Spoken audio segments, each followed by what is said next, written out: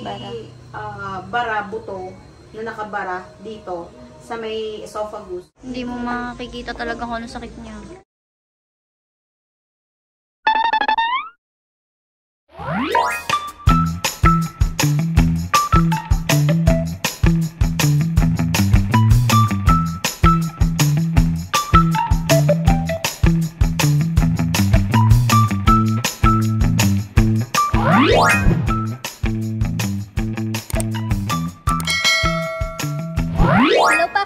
Welcome back to Husky Pack TV! And so today's video tungkol ulit kay Snow White. And alam niyo naman from the previous video na dinala natin si Snow White sa vet pero the next day pinauwi siya walang swero. Kumakain na daw pero nung inuwi natin siya dito nang hina siya hindi kumakain. Sa vlog na to makikita niyo yung mga sumunod na nangyari sa kanya. So dinala ulit siya sa vet kasi nanghihina nga siya pero this time sa ibang vet natin dinala kasi ipapa-x-ray natin siya kasi possible daw na sa abdominal yung problema. Pero pwede rin daw obstruction. So hahanapin, hahanapin natin yun. Yun yung goal natin. Hanapin natin kung ano yung sakit ni Snow White para alam natin kung paano siya gagamutin. So, panoodin niyo itong vlog na to para makita niyo yung progress ni Snow White. Ayan na naman siya guys. So, dadali na naman natin siya sa vet. Pero sa ibang vet natin i-try kasi ang sabi, baka daw obstruction. Kasi lahat ng kinakain niya, lahat ng ininom niya, sinusuka niya, pati yung gamot. So, hindi talaga gagana. So, baka daw may obstruction. Oh, no! Tingnan daw nila. So, dadali natin siya sa vet doon sa Bawan. Doon natin dinadala yung mga pinapa-ultrasound natin. Ayan, mahina pa rin siya. Guys, on the way na tayo. Ayan si Snow White. Ayan, super hina niya talaga. Nakaganyan lang siya sa biyahe. So, hopefully makita na doon kung ano talaga yung may balahibo pa sa camera. Makita na kung ano talaga yung dahilan para magawa na ng para. Gamot na kung ano yung sakit niya. Andito na tayo guys, FMH Animal Clinic sa Bawan. Bababa na si Snow White. Kunin mo, mahirap sa Giant kunin. So White, opo. Sorry ha, sorry. Sorry po. Sorry po. Pasok na sa White, pasok. Buto, siguro mga, may 4 days na yon yung Mm. pinagagawa na buto. Mga isang linggo. Hindi siya umiibo guys, oh. Hindi siya umiibo. Hindi, mas sigla to. Super kulit niya eh. Ilang?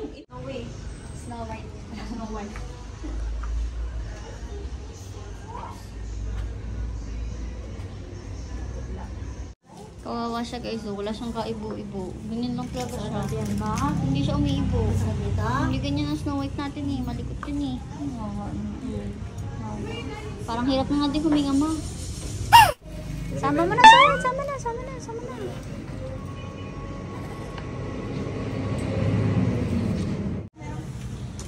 Uwi ka na. Uwi ka na.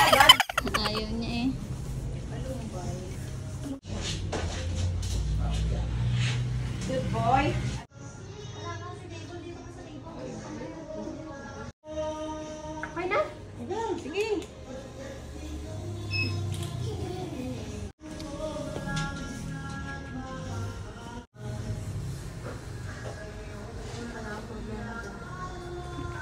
I-explain ko Anita. Dapat kung may Bara. ah, bara buto na nakabara dito sa may esophagus, kitang-kita dapat dito. Wala man eh. Ano na yan? Wala nga naman. Clear-clear naman ako dami. Walang blockage. Mabilis naman siya eh. Wala.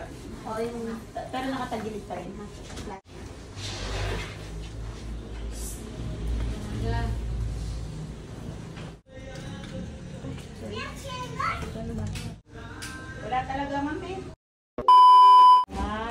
Ka. Wala nakita sa kanya guys, x-ray, kahit ano. Wala siya nakain kahit ano. Ah, nakita lang sa kanya is pupo na hindi niya nilalabas kasi 3 days na siyang hindi nagtatae. Tapos, i-test daw siya. Four way test na yung gagawin sa kanya. Hindi malaman Snow White kung ano nangyayari sa iyo eh.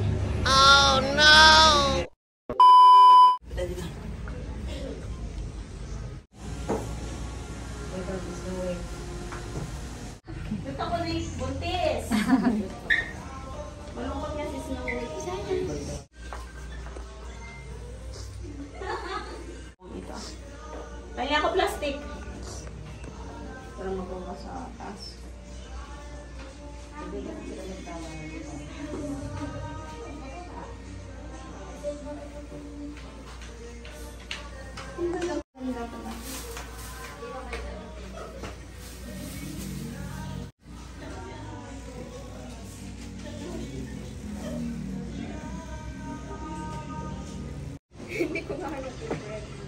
Hindi siya early QCs din mo. Wala, wala nga.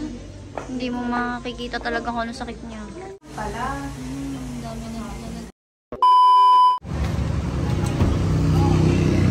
Oh, ang haba na agad ng tugo. Higa na agad. Pala, sleepy. Bakit kaya? Mahirap yun. So, pag uwi namin, binigyan namin siya ng chicken and ayaw niyang kainin. Pero normal naman to kasi wala pa talaga siyang appetite and ang tagal nga din yan na hindi kumakain. Tinatry lang talaga namin to see kung may improvement sa kanya, if ever interested ba siya sa pagkain or what. Pero obviously, hindi siya interested kasi as you can see, tinutulak-tulak niya lang yan palayo. Di ko sure kung ano talagang gusto niyang gawin. Itulak ba palayo or takpan yung food. Pero ang alam ko lang is ayaw niya talaga ng food na yan as of now. So hinayaan na lamang namin siya magpahinga kasi meron din naman siyang dextrose or yung kanyang IV. Hindi siya madidehydrate or hindi rin siya masyadong magutom kahit hindi siya kumain. Kaya rin pumayag kami na iuwi siya ng naka-IV. Tingnan niyo siya guys. Na-try ko siyang pigilan pero hindi ko siya mapigilan. Umakyat na siya kasi naglabasan yung mga kasamahan niya. So gusto niya din. Pero hindi pwede. Pero that's a good sign kasi kahapon, tsaka isang araw, hindi siya tumatayo man lang nung naglalabasan na yung. Wala siyang ka-energy-energy. So this is a good sign, meaning lumalakas na siya pero hindi pa talaga siya pwede. Tapos baka maalhugot yung dextrose niya eh. Oh, ang nagkukulit na siya eh, ng pakonti-konti. Hopefully bukas okay na okay na siya kasi nagkaka-energy na siya dahil nga tuloy-tuloy yung ID niya. Ayan, Snow White. Hingal ako kasi pinipigilan ko siyang umakyat, hindi talaga. Ganyan talaga. Gustong-gusto niyang lumabas pero hindi mo pwede. Ah, sa labas kasi yung mga kasamahan niya naglalaro sa labas. At least, good sign. Kakatayo na siyang ganyan. Hindi yan dati. Hindi nung isang araw kahapon, hindi. Baba na, sa white. Yan. Pag lapit ako sa kanya, lalo siyang umakyat eh. So, dito muna ako. Tingnan ko anong gagawin niya kung higa na siya. Nadudula siya sa IV niya eh. Oh.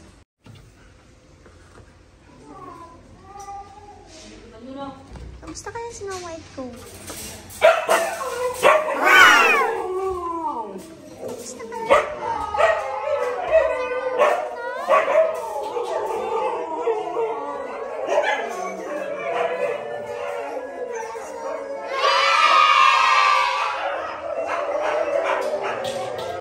Ito guys, yung pinadala ni doktora na mga i-inject sa kanya and inject na siya. Nakalimutan namin videohan kasi tulong, tulong kami ni mother.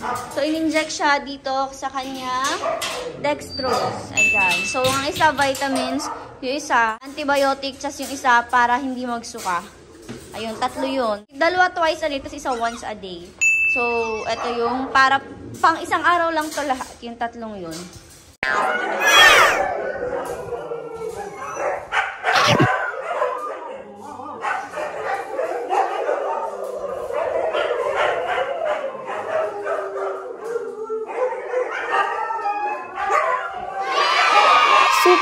Happy kami kasi finally nag-start ng kumain si Snow White. As you can see, yesterday ayaw pa niyang kainin yung chicken pero ngayon nilafang na talaga niya. Dito naman, tinuturokan namin siya ng vitamins. Tatlo kasi yung tinuturok sa kanya. Merong vitamins, merong antibiotic, and meron ding yung anti-suka dahil nga non-stop yung vomiting niya. Nakakatuwa kasi talaga nagsa-start na siyang maging okay dahil sa mga tinuturok at sa mga binigay na gamot sa kanya. Kumukulit na nga lang din siya, nahihirapan na kami kasi dumudugo madalas yung dextrose niya. Pero sabi ko nga, that's a good sign. Kumakain na rin siya paunti-unti. As you can see, pinasusubuan pa siya dyan. Kasi ayaw niyang kainin mag-isa. Gusto niya isusubuan talaga siya. Ewan ko ba kung lumalambing siya or bet niya lang talaga yung lasa ng kamay ko. Charot. Basta very happy kami na at the second day, mula nung inuwi namin siya na naka-dextrose or naka-IV is, nagsa-start na siyang kumain kahit paunti-unti. And hindi pa din namin siya binibigyan ng mga dog food. Soft food, gaya ng chicken lang talaga yung pinakakain. Ayan na guys, masigla na naman si Snow White pa tatlong araw, kaya Kailangan, at siguro kailangan natin tanggalin dahil medyo pumagana rin yung kanyang Kamay. kamay. At saka magaling na siya, nanghihingi na siya ng pagkain. Masigla na. Ah, ayun. May pagkakit-akit yan, kaya sumala na siguro. May pagkakit-akit na. Hindi mapigilan. Wala, hindi na kayang pigilan. Ah, masigla na. Hindi, hawak ko daw ng konting. Nagugupitik ko nga. Katakit na. Kaya na nasala. Kanina pang ano, lumabas si na Malia at saka si Cyber. Tapos siya ay gusto niyang lalabas din siya. Malikot na nga siya. Oh, Gusto niya sumama. Oh. Sit! Sit! Ako ayaw na mag-sit! Nabalik na si Is Words. Yeah, oh, mapait siya. mapait? Kaya hindi niya, ikaw nga. Kaya, ay, kita mo! Nagkukulit na nga eh. Nagkukulit na nga eh. Sinabi ng mapait Tawa. eh. Tagay na liwawa. Walang dula, gugupitin na ni Mami. Dandahan naman, dandahan.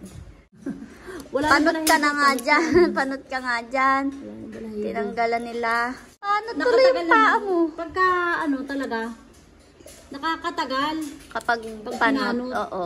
Kasi kapag mabalahibo, ang nangyayari, tigil agad. Mm Nasa sasakyan pa lang, wala, tanggal na. Ay, tinan nyo, naka 3 days ang dextrose niya. 3 days ga? Patatlong, patatlong araw. Yay! You know, you know, you know, you know. Huwag ko kainin! Dugo mo yan! may medyas na siya. Oh, cute, cute. Inaiyak pa na. Yay! Aba, lalabas na daw agad siya. Aba? Oo naman. Labas. Aba, aba. Grabe niyo ba? Very good din. Oh, oh, oh, oh. na daw, oh, wala na daw. Natanggal na. Update na lang namin kaya sa mga susunod naming vlogs. Pati na rin sa aming Instagram. So, i-follow nyo kami sa aming Instagram at HuskyPack TV. And sa aming Facebook page, HuskyPack TV. So, yun lang muna guys for today's video. Thank you so much for watching and we'll see you guys on the next video. Bye!